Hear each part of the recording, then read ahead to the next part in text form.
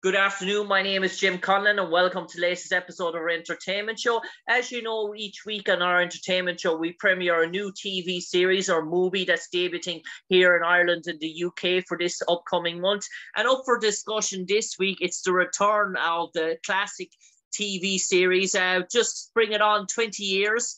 Uh, not that 70 show, but very much. Uh, that show. Indeed, it's now that 90 show, and we're delighted to be joined by one of the pioneers of that show. He appeared in over 200 episodes in that 70s show, playing the character Red Forman. He's back for more 20 years on.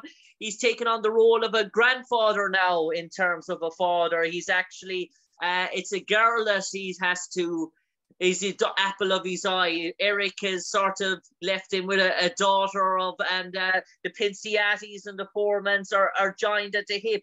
Uh, so it's Leia Forman plays Callie Haverda, uh, the granddaughter of Red Forman. Kitty Forman is back with Debra Jo Rupp, and we've many sort of guest stars as well. But our special guest this evening, it is the one and only Red Forman. The iconic catchphrase "Dumbass" is back, and he's saying it to another Kelso. It's just not Ashton Kutcher this time. Uh, the one and only Kurtwood Smith. Uh, Kurtwood, an absolute pleasure to have you on the air with us this evening. And uh, are you enjoying Red Forman again? I'm sorry? Are you enjoying being Red Forman oh, again? Absolutely. It's It was just a, uh, it was a, uh, just a delight to come back to that set looking so much like it did, you know, 20 years ago. And, uh, uh, to be saying those great lines again, you know, telling people I'm going to put put my foot up their ass and various other things. Uh, so yes, I was uh, I was very pleased to to put Red's flannels on again once again. You know. And Kurtwood, had you any sort of hesitations at first? I know sometimes with the reboots of series and remakes of series that you say don't touch a classic uh, because you might actually spoil its reputation or you might damage the original. Were you a bit hesitant at first? Did you need reassurances in terms of what this project was going to be about? Well, I think the reassurances were right there. Um, Tom Warner, who's, uh, you know, uh, Carsey Warner was the original production company of it, and Tom and Marcy Carsey uh, were both running the show again. And we had two of the original creators of the show, Bonnie and Terry Turner, who were going to be working on it, and Gregg Mettler, who is now the showrunner. He was one of the writers on that 70s show. So we had all of those people at the top um, that were connected to the old show. So I, I really, um, you know, I was quite at ease about uh, about putting it back on. Yeah. And Kurtwood, I know actually Terry Turner, one of the co-creators of that 70s show, when he started filming that 90s show, I believe he actually started crying. He was so caught up with sort of nostalgia in terms of that that he couldn't uh, hold himself in the whole emotion caught up with him. Yeah, That's right. You know, and I think he wasn't the only one, you know. I think there were a few other people on that floor uh, that were feeling very much the same way, myself included. Yeah, and Kurtwood, how is it uh, the Bonnie and Clyde of, of the 70s be reunited with uh, Kitty, Debra, Jo Rupp uh, after that sort of the chemistry that you had for so long, indeed over eight year, eight seasons of that 70s show? Was it just very much uh, being able, like a, a, light switch, just having to flip a switch and you were back being the Formans once again? That's exactly right. It was didn't even we didn't even skip a beat. We just went right back to work. Um, you know, doing 200 episodes of something with, you know, Debra Jo and I, I, I couldn't even begin to count how many scenes we actually played together during that time.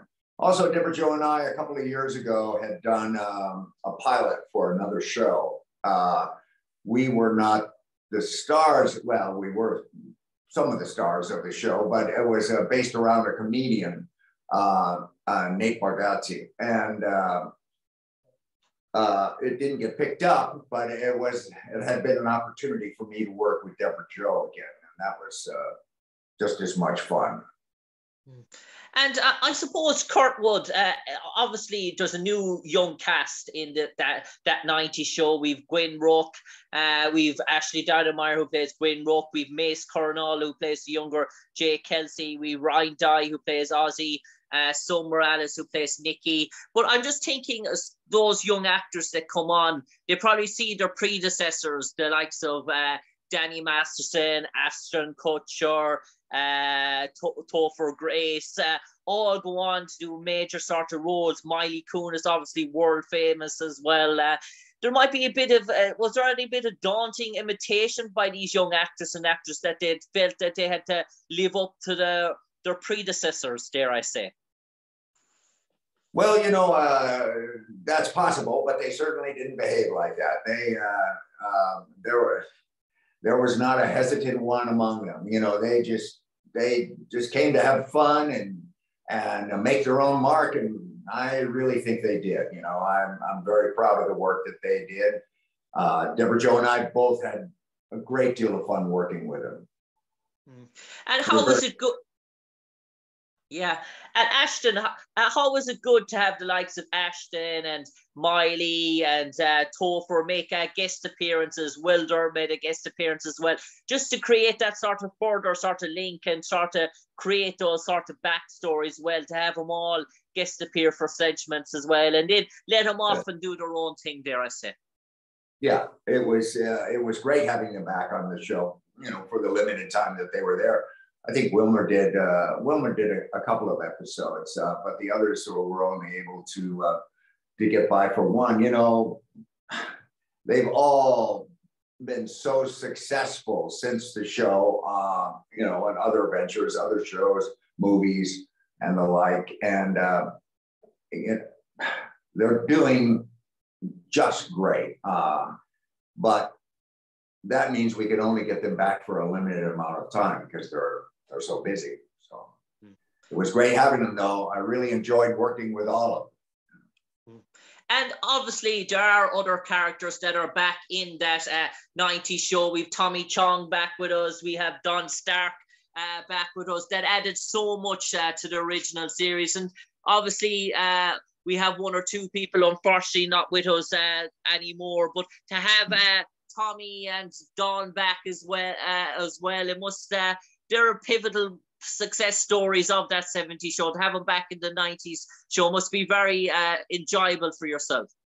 Very enjoyable. It was good to see them. I hadn't really seen, I hadn't seen Tommy in a long time. Don, I've sort of, you know, kept contact with him at least as far as, uh, you know, um, uh, you know, uh, not tweets, but texts and uh, emails and various other things. But I hadn't seen Tommy in quite a while, so it was great fun seeing him again. Hmm. And I suppose Kurtwood, that relationship between Red Forman and Kelso, as we say in that 70 show, now there's a new sort of younger generation of a Kelso. Yeah. Is it very much the same type of a uh, relationship that you had in the previous sort of series, uh, just uh, maybe skipping a generation as such? Well, I think so. We, I, I, didn't really have a great deal to do with Mace. Uh, Mace plays uh, uh, uh the young Kelso. Uh, uh, on this, this, you know, this particular season, but I'm sure we will have more. You know, it wasn't really. I think I kind of met him at the end. My our characters met at the end of the first episode, but then I didn't see too much of him as it went along. But we will definitely be seeing more of them if, assuming that the show goes forward. Which and tell, oh. and tell me, Kurtwood, uh, what's the role? Uh, isn't Red Forman plays now in this series? Is he more gone from a provider rather than being a, a, a granddad, a, a, sort of caretaker, such as? Is he not the breadwinner that he was uh, back in that 70s show? Well, he is retired, uh, and uh, but uh, you know, so he, he he spends a lot more time at home. Uh, he is. We see as it goes along that he's maybe a little bit more mellow than he was before, but you know, he's still um, he's still ready to spring those dumbasses any anytime he gets a chance. Mm.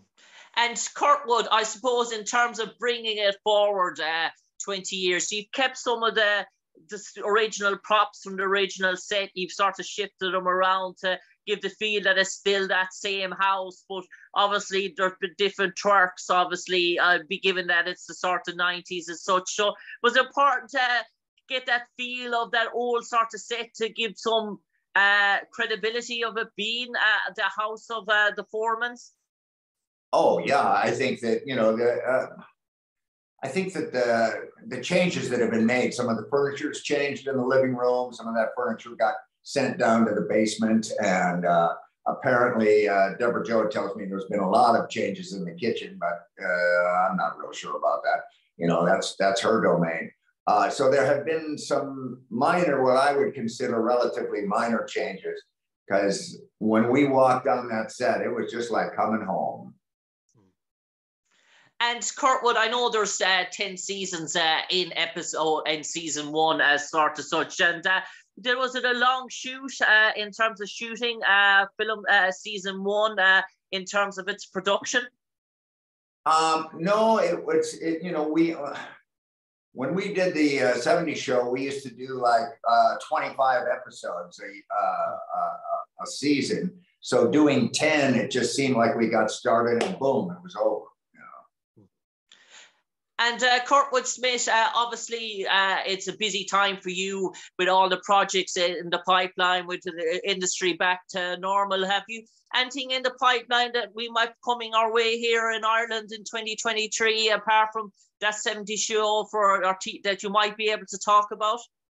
Well, there's a show called uh, The Dropout um, that uh, that has already played here. It's uh, you know it's one of those uh, limited series. I think there's like uh, maybe six or seven episodes, um, and uh, it's based on a true story about a young woman um, who uh, got herself in a lot of trouble. Uh, but it was um, a very successful show, and I would hope it would play over in Ireland, but I, I'm not exactly sure. Yeah, and Kurtwood Smith, I know uh, traveling to Ireland is on your bucket list in the near future. I'm sorry. I know traveling to Ireland is one of those uh, things that you have on your bucket list in the near future. It's definitely on my bucket list. And in fact, it's very, very close to the top. So I'm hoping to get I'm hoping to get to Ireland in the next couple of years. And uh, one last, last, second, last question for you, uh, Kurtwood. Uh, in terms of, uh, I know you've been in many TV series uh, throughout the years, throughout the decades, but one uh, caught my eye back in the 1980s. You were with uh, George Peppard, Mr. T, and Dirk Benedict in the A Team. You played a, a villainous sort of role in that. And what was it like interacting with George Peppard and Mr. T? Oh, it was great fun. George Peppard, he was uh, uh, he was a real character. Um, I remember I sat around one afternoon uh, uh, uh, just chatting with him, and that was a lot of fun. Of course, Mr. T, Mr. T was um, a gentleman all by himself. He was he was a great fellow. Um, still is, as far as I know, and uh, yeah, it was a, it was a lot of fun. As I mentioned earlier, when they changed the ending. my character was supposed to have been killed in an airplane crash into the side of the mountain. But then when it came on TV, uh, they had apparently changed their mind because it showed a couple of people scampering away from the uh, helicopter as it was in flames. So I guess for some reason they decided maybe they were going to bring us back and never had a chance. I don't know. That was kind and, of a surprise. And Kurtwood Smith, finally, for the last 30 seconds, you might enlighten all our audience why they should tune in on channel Netflix UK here in Ireland to watch that 90 show. And uh, from Red Forman himself, what's in store for them? A great deal of fun, good laughs, lots of fun. Believe me, you'll enjoy it. And if you don't, I'll just have to put my foot up your ass. On that note, from the one and only uh, Red Forman himself, Kurtwood Smith, an absolute pleasure for me, Jim Conlan, speaking to you on the airwaves uh, this evening. A gentleman of the business, a pioneer of the business. It's great to see you reimburse that famous, iconic role. Uh, you're doing a stand-up job, as they say, and keep the dumbasses coming. But for the moment, uh, Kurtwood Smith, an honour, sir. Take stay safe, take care, and stay well. Uh, thanks so much, James. It was a pleasure talking to you. Thank you, Kurtwood.